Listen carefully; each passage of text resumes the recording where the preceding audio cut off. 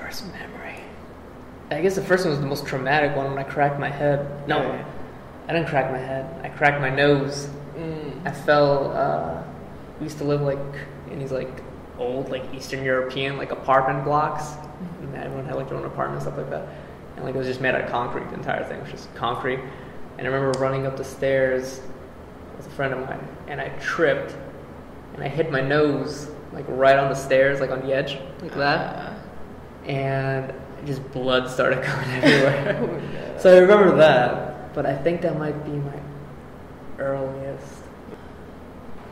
I remember also they had this like day, like a certain day of the year, where they would like, like everybody in the block would like buy pigs for some reason and kill the pigs. Like they'd slaughter the pigs, like in the road, like kind of like in the road Sick. like around the, the area to eat them, obviously, like a feast or something like that. But I don't know why. And I always remember that day because I, I was never allowed to go out and play there that day.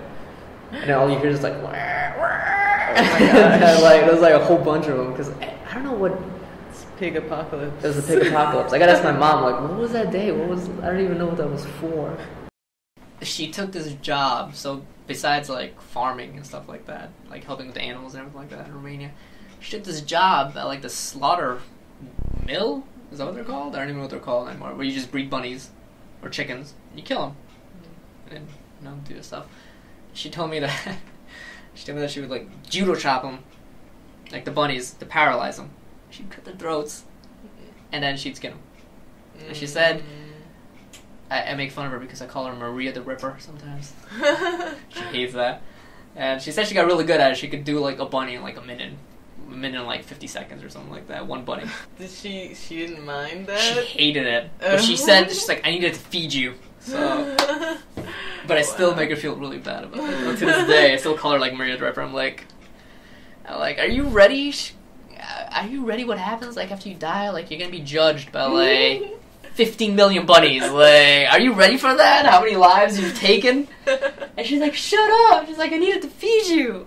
So how how did you feel when you found out you were coming to America? Like, Uh, happy. Yes, because I mean, I really didn't know any like words in English when I came here. I, I knew, I, I knew dog and ice cream. I knew what those meant. That's about it. I remember when I came here, we never had peanut butter before. So we got here, we ate like peanut butter like all the time. I think my mom gained like ten pounds in like two weeks or something.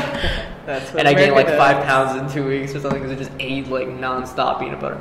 I loved um, Eggo waffles and peanut butter. Delicious.